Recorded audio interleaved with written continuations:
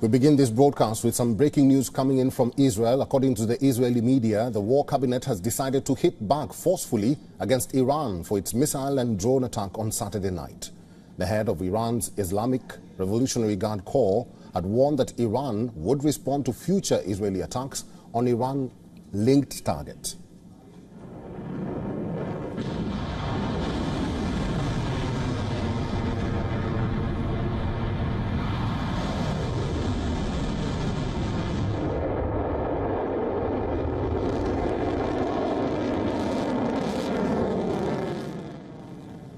Israel is also facing growing pressure from allies to show some restraint and avoid an escalation of conflict in West Asia.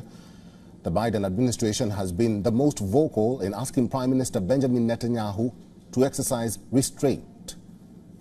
Britain has also asked the Prime Minister to exercise some sort of restraint because they do not want this war to escalate. America says that they do not want this war to escalate in West Asia. Let's speak to our correspondent Susan Teherani, who's joining us on the, on the line from New York. Susan, good to see you again.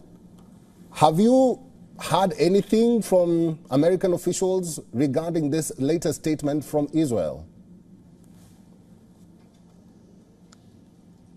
Well, we did hear a little bit earlier as this war cabinet meeting started from U.S. Secretary of State Antony Blinken, uh, once again saying that the, America really will back Israel in any of its endeavors. Uh, we're trying to figure out if this is in contradiction to what President Biden had said, because it has been reported that President Biden, uh, as early as Saturday on that phone call with Prime Minister Netanyahu, had told uh, the Israeli Prime Minister that the U.S. wouldn't be involved should Israel want to uh, carry out that counterattack. Antony Blinken now says that uh, America's support is ironclad, and we're hearing that President Biden is saying the same as well. Uh, Blinken also said that for the past 36 hours or so, they've been in constant contact with Israeli officials trying to find a diplomatic solution to the ongoing impasse. We don't know exactly what that means, uh, but we're also hearing that at this moment, uh, President Biden is meeting with uh, the Iraqi prime minister.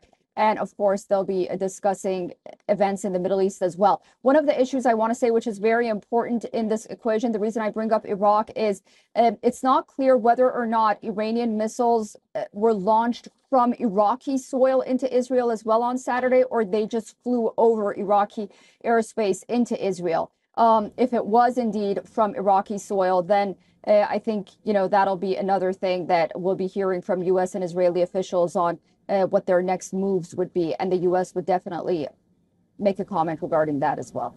Susan, uh, we are reporting that uh, the Israeli Defense Minister Yoav Gallant did speak to the U.S. Defense Secretary Lloyd Austin and did point out that uh, Israel is willing to retaliate. Do we expect any uh, sort of information from Pentagon?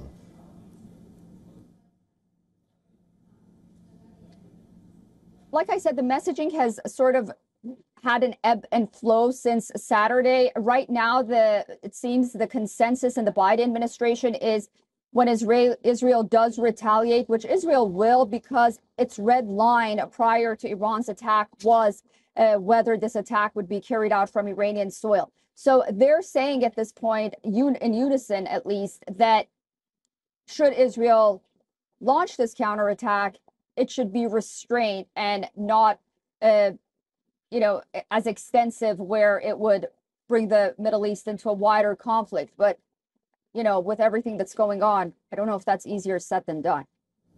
All right, I'll be talking to our correspondent Susan Teherani live in New York. Thank you, Susan. If you're just joining us, this is news just in from Israel.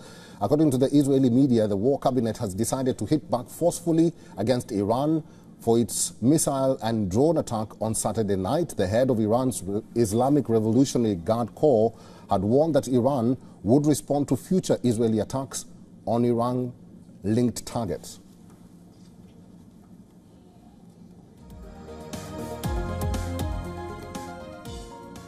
For all the latest news, download the WION app and subscribe to our YouTube channel.